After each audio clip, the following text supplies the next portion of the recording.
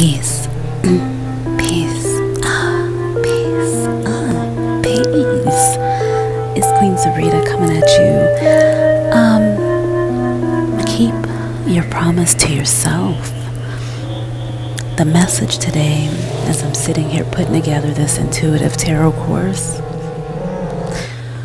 y'all, I'm just learning how to be more focused and to get rid of all the clutter that has been impeding my path and moving forward. Things have been moving forward, but sometimes I have I'll start collecting things and I get all these ideas and inspirations.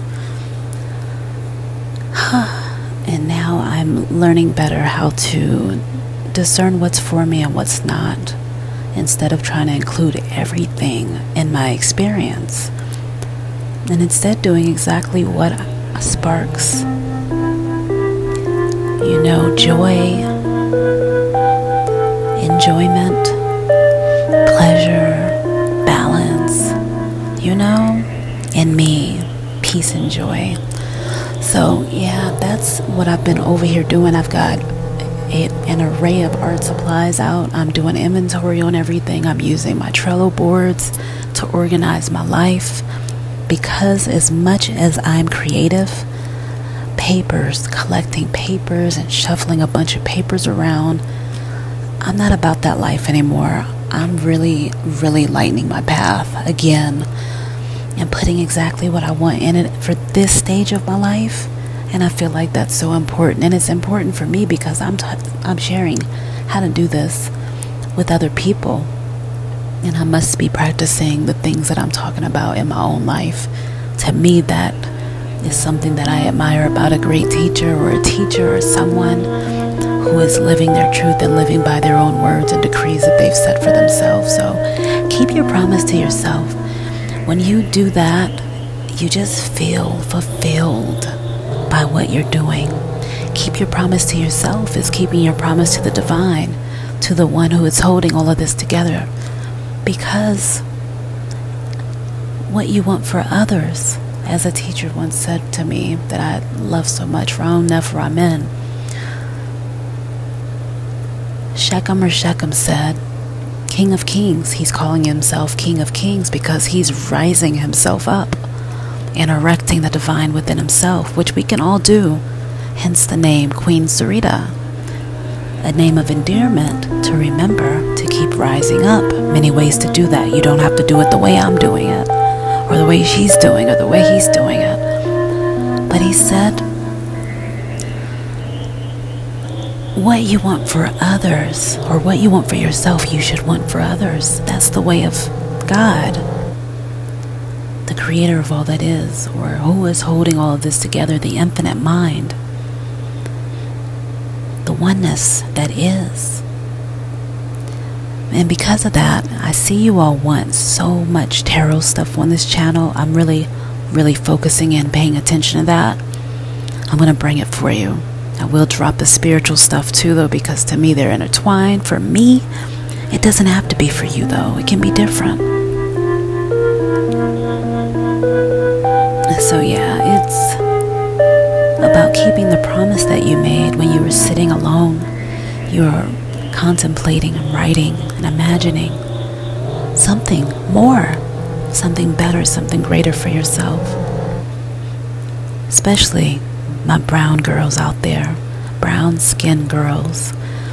I feel you. I know how it is to see all these images all over that seem like, hey, you'll never make it out. You'll never make it through. You may be feeling that now, but let me assure you just make a promise to yourself. One that feels lovely when you think of it. Learn how to love yourself. Learn how to give yourself what it is that you want in this life. Making and keeping that promise to yourself, vital, key.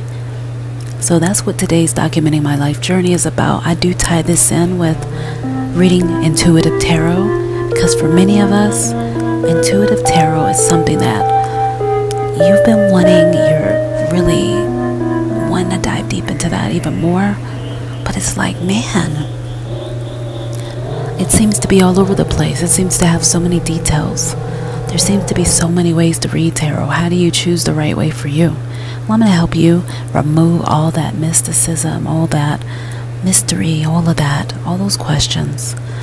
And we're going to explore tarot together because I have been using tarot to tune in with my inner teacher and following my instincts to gain more out of life. The confidence, embodying that to do intuitive tarot, getting grounded and following the urge to explore my intuition and to listen to it, capture the flash of insight that comes to you. We'll learn about that. That's what I learned about removing blocks and obstructions, blocks and obstructions to intuitive tarot reading. No matter what the distance is, no matter who it is, I'll show you how to connect to something which goes beyond the physical. And this is going to help your intuition and your intuitive reading skills grow and flourish. So, yeah, I have so many resources for you. Now it's about putting them in this one place. I have the price for you. Opening registration looks like it's going to be $50 for Intuitive Tarot with me. And then after that registration is over, it's going to go up. I know at least it'll go up to 75.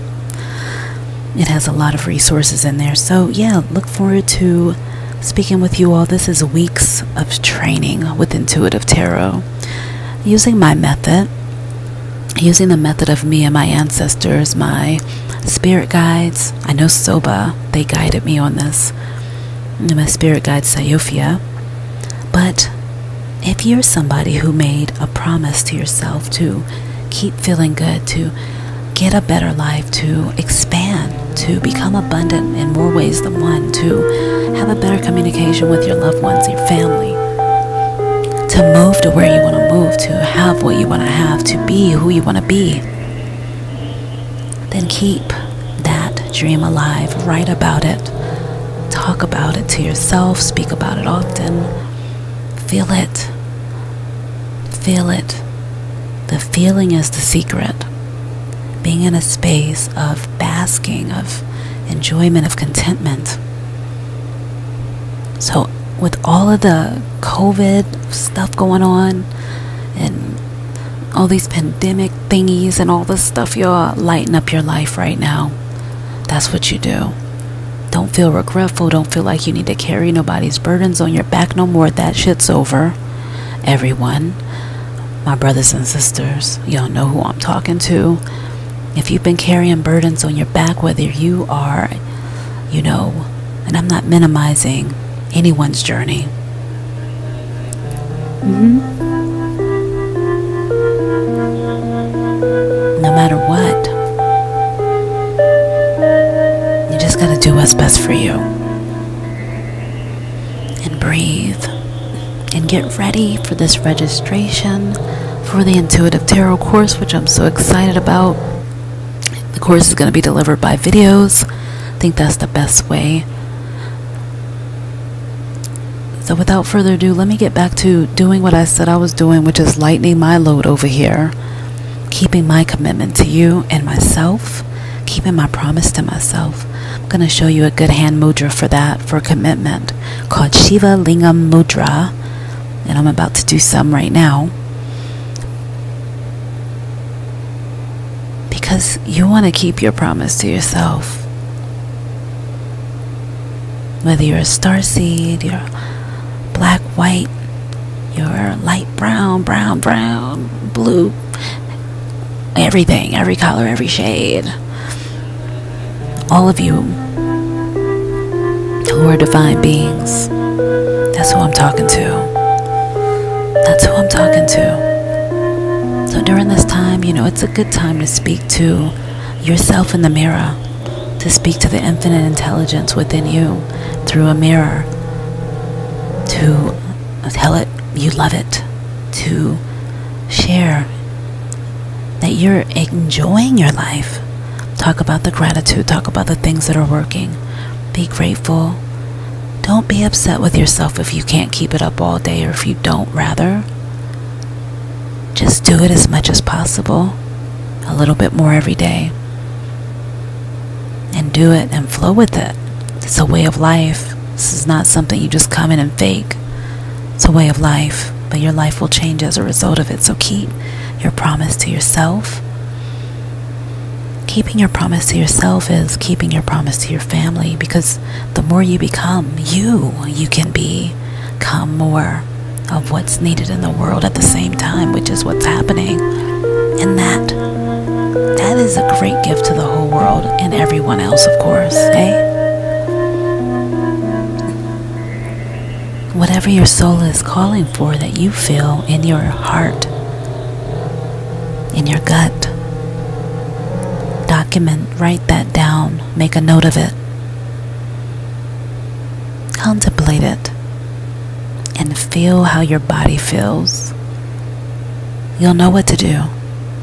And intuitive tarot, which is the course we're coming out with, we're going to focus on that for a great, I need to focus on it for like three months straight.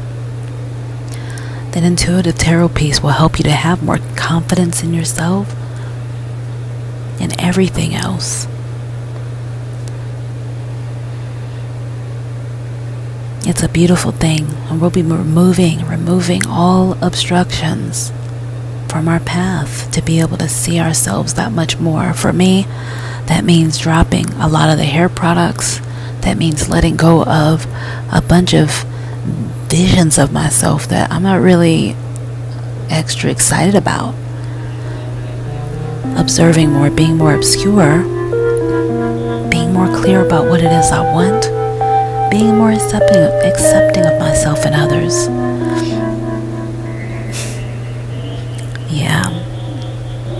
Reducing sugar intake also. I'm not a doctor, but sugar has been proven to be harmful for the body. Just look it up for yourself, okay? It's on YouTube, it's on the internet, it's all over the place. Decrease your importance on things that are not helping you move forward slowly pull away from those things. That's what naturally high life is about. Doing that in a balanced way and finding your flow. Dancing in your joy. Playing more music, laughing more. These are the things that reverse time and reverse the, the so called pressures of life.